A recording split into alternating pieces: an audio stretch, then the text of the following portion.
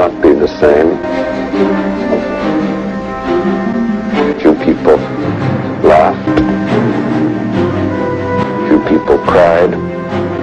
Most people were silent.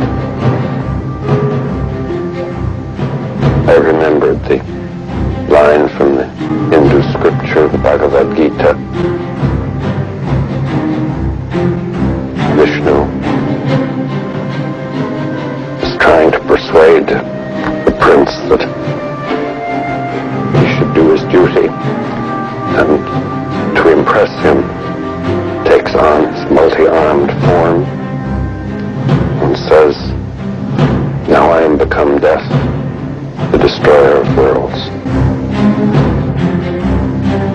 I suppose we all thought that one way or another.